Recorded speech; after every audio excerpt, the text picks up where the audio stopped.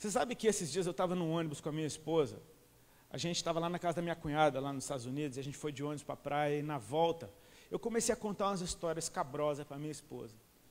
Eu fumei muita maconha quando eu era adolescente. Então tem anos da minha vida que eu não lembro. Eu não lembro, simplesmente eu não sei o que aconteceu naquele ano, eu já não tenho foto daquele tempo, então eu não sei o que aconteceu. Anos se passaram e eu não vi. E, cara, de uma hora para outra, enquanto a gente esperava no ponto de ônibus e estava demorando aquele dia, eu comecei a contar umas histórias para minha esposa, que começaram a me vir na lembrança. E eu comecei a contar a história de quando minha mãe, quando eu tinha, quando eu tinha 11 anos de idade, eu ia muito para casa de um primo meu de férias na Paraíba. Esse meu primo, ele tinha um monte de arma porque meu, meu bisavô era coronel, meu bisavô tinha um arsenal, esse arsenal se espalhou pela família e meu primo ficou com algumas armas. Então a gente brincava de arma de verdade, quando a gente era criança. Então eu voltei para casa, eu comecei a apurrinhar minha mãe porque eu queria uma arma. Poxa, não era justo, eu não tenho uma arma. E minha mãe comprou um revólver para mim. Quando eu tinha 11 anos de idade, ela me deu um revólver. Ela não me deu as balas. Ela só me deu o revólver. E eu tinha meu revólver, eu brincava em casa com revólver. Vocês não estão filmando isso não, né? Porque vai dizer depois que eu estou fazendo apologia à arma, por favor. Foi uma loucura aquilo. Eu convenci minha mãe a me dar um revólver. E, assim, aí entrei na adolescência e me envolvi com a galera punk que andava lá em Brasília na época.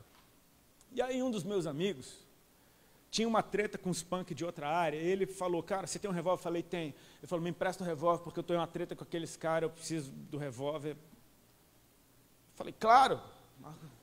Emprestei o revólver para o cara dar um tiro no outro. Ele não deu o tiro no outro. Né? E glória a Deus por isso, porque depois eu fiquei amigo do outro e tive uma banda com o outro. Eu contei para ele, cara, você sabe que antes eu dei um revólver para um cara dar um tiro em você?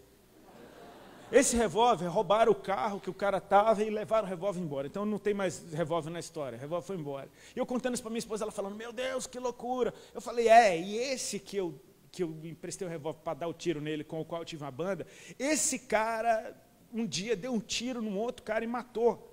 E ele foi para a cadeia. Aí, minha, esposa falando, meu Deus do céu, olha. Eu falei, mas o cara não era ruim, foi um acidente. Ele foi realmente um acidente, foi um, um infortúnio. E, enfim, e aí eu comecei a contar a história de um outro amigo meu que um dia deu carona para um traficante, só que aí tinha uma blitz. Aí a blitz pegou o traficante e ele, e ele, porque deu carona, ficou cinco anos na cadeia. E minha esposa, meu Deus do céu, amor, olha isso. E eu falei, cara, e, e aí na cadeia aconteceu que ele pegou AIDS e morreu. Aí minha esposa, meu Deus, amor, e aí, e as histórias iam vindo, e eu, eu passei aquela viagem de ônibus inteira falando só de histórias cabrosas para minha esposa, eu pensando, qual é a edificação que tem nisso? Por que, que eu estou falando isso para minha mulher? Agora, 14 anos de casado, por que, que eu estou contando isso? Quando a gente desceu do ônibus, Deus me fez lembrar. Cara, eu sempre achei que o meu testemunho começou no dia que eu conheci Jesus. E o Senhor começou a me lembrar: eu estava te cuidando ali, eu estava te cuidando aqui, eu estava te cuidando aqui, eu estava te cuidando aqui, eu estava te cuidando aqui. Aqui, quando esse carro capotou de um viaduto e você saiu pela janela e não sofreu um arranhão, eu estava te cuidando aqui também. Eu, tava te... Ele, eu comecei a ver Jesus em cada fase da minha vida. Ele estava me guardando até o momento dele se revelar a mim. E ele se revelou em amor. Ele nos toca com desejo, cara.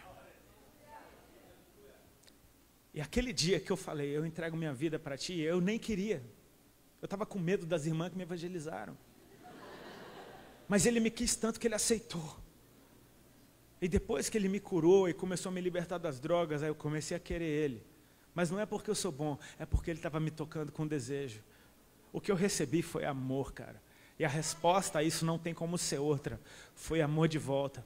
O amor veio primeiro. As escrituras dizem nós o amamos porque ele nos amou primeiro. Amém? Então não começou com a gente, porque esse verso diz: aquele que tem os meus mandamentos e os guarda, esse é o que me ama. Então parece que o teu amor vai fazer Deus te amar. Não, ele te amou primeiro e é por isso que você tem os mandamentos. Então como é que os mandamentos chegaram até você? Em amor. Eu só tenho que dar uma resposta em amor. E a resposta em amor vai tocar o coração de Deus e ele vai identificar o meu amor. E sabe qual é a recompensa do amor? Mais amor. Então ele vai me amar. E Jesus disse que eu vou estar no meio do caminho e eu também o amarei e me manifestarei a ele. Então, se com uma dose de amor eu já consegui dar uma resposta em algum nível para Deus em amor, imagina o que vai acontecer quando ele liberar ainda mais amor para a minha vida. Eu vou ter agora mais amor para dar para ele de volta. Então eu pego esse amor que eu recebi extra agora, que eu nem sabia que existia. Cara, como obedecer a Deus é bom. Eu devolvo para ele em amor, guardando os mandamentos do Senhor. E Deus está falando, cara, esse baixinho me ama mesmo, então tome mais amor na cabeça dele. E tome mais amor, e você recebe mais amor. Meu Deus, eu tenho que. E você vai ficar, pega! E Deus está falando, pega tu! Então toma! Receba! Ele está falando, agora, agora você vai ficar de cara, ó. E Deus está falando, ah, sabe de nada, toma! Ah. Você nunca vai ganhar dele, cara. Você nunca vai ganhar dele. Você nunca vai ganhar dele. Vai ficar eternamente nesse negócio. Ele liberando a mão sobre você, você devolvendo e, e